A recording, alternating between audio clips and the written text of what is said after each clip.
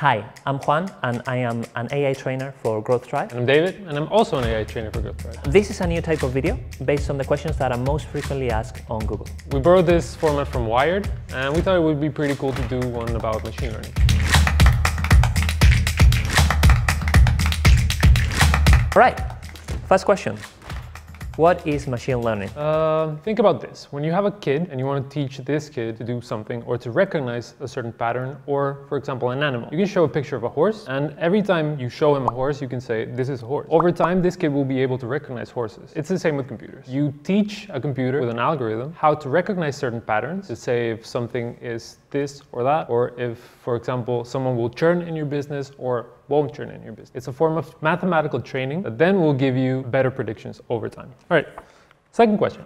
How will machine learning change the world? How will machine learning change the world? Oh my God, it's coming for us. It's already changed the world. Um, sorry to spoil it for you. It's helping us already to predict credit scores, to uh, predict diseases, uh, to recommend us items to buy. And the thing is that it's only going to get better from here. The real question is if it's going to become so clever that it can do the same task as humans do, but also much faster. All right, does machine learning involve coding? At first, yeah, but now not necessarily. Uh, shameless plug, our course teaches you how to do machine learning without having to code anything. We use platforms like Dataiku or Orange, which is an open source program that let you select the algorithms that you want to use, just plug in a database and make very complex models that will help your business grow. The next one, how does machine learning work? There are two main fields in machine learning at the moment. Uh, they are supervised learning and unsupervised learning. For the supervised learning, let me give you an example. Let's say that you're trying to predict the survivors of the Titanic. A bit late, I know,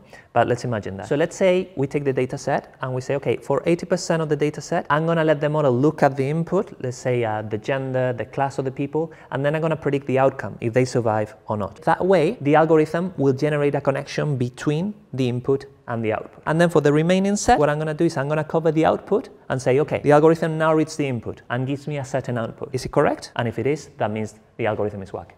And then there's also unsupervised learning that is basically finding hidden patterns between the data without making a prediction. So next question is, what is machine learning used for? What is machine learning not used for? That would be a better question. Well, nowadays, it's used in many, many fields. As Juan mentioned before, you can predict so many things with machine learning. A really nice application of machine learning is from Spotify. They have a really cool recommender system that actually knows what I like. So they will recommend each week songs that I've never heard of, and I usually like them. So that's a very good application of machine learning. All right, take it. How machine learning creates new professions. Uh-huh. AI has the reputation that it will destroy some jobs, and yeah, sadly it will, but actually the estimations is that it will create more jobs than it will destroy. So there will all the people associated to maintaining the technology, generating, teaching as well, of course, but also because the income is going to be uh, generally higher, we're going to have more space for entertainment, for mindfulness, for all that kind of services, and that is going to create a lot of demand as well. Let's see what's next. Is machine learning overhyped? nice. Uh... no. Machine learning is so powerful that you can do really, really good things for humanity with it. Some people are expecting machine learning to take over the world. Probably won't. But the use cases that we have nowadays are really revolutionizing many industries. So I think it's not overhyped. I think it's, uh, it's ri rightfully hyped. All right. So next one. Why is machine learning so hard? It is and it's not. Depends on what you want to do. It's no different from any other piece of technology. Like, for example, you would say, it's a smartphone difficult to use? No, it's not. But if you want to create, to develop a new smartphone, then it's super difficult. So it's the same with AI. You want to develop and push the boundaries of AI, then it's going to be very complicated. You want to use it for tasks that have been done to death and you know are going to be very useful because they're very well developed, then it's super easy. This one's a double one. Okay, let's do it at the same time. So I got this one okay. and you got that one. Cool. All right.